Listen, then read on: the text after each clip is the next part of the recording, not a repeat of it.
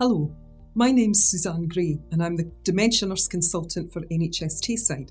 And I'm delighted that the Dementia Services Development Centre have asked me to talk about what information is helpful for carers and family members of people with dementia who are admitted to hospital. It's an important topic as at any one time, one in four hospital beds will be occupied by someone living with dementia. We know that being in hospital can be incredibly stressful and can lead to people experiencing increased confusion and a reduction in how able they are to look after themselves in comparison to how they did previously. So, if hospital admission can be avoided at all, it is better to try to treat the person at home if that's possible. However, sometimes hospital admission is unavoidable. If your family member or friend is admitted to hospital, there are a number of steps you can take to make the stay as smooth as possible. Providing as much information to staff about the person's preferences about care is one. For instance, what they take in their coffee, who or what's important to them, what name they like to be called. If your family member or friend have a getting to know me document already in place, please make sure it goes with the person into hospital. If you don't have one, please ask a member of staff in the hospital to provide one for you to complete.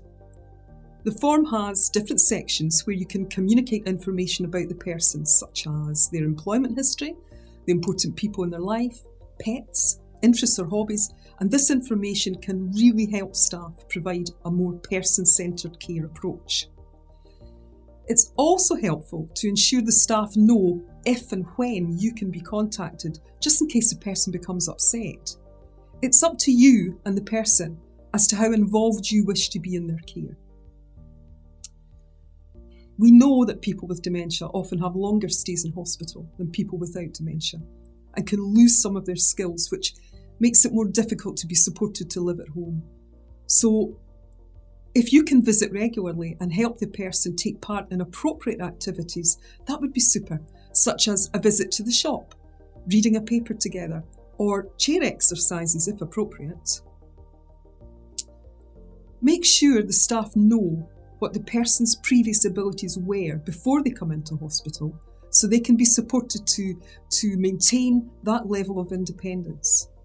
And please, if there are any changes in ability or any unusual behaviour, this should be discussed immediately with staff, as people with dementia can be more susceptible to developing delirium, which is a, a, an acute confusion.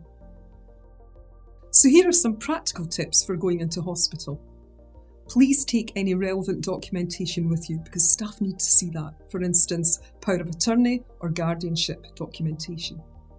Please also take the person's medication, clothing both for day and night, toiletries, and hearing aids or glasses with the person's name on them if possible, and maybe a small clock and or calendar so the person knows the date and time. If there is anything else you would like to discuss, always ask to speak to the nurse in charge.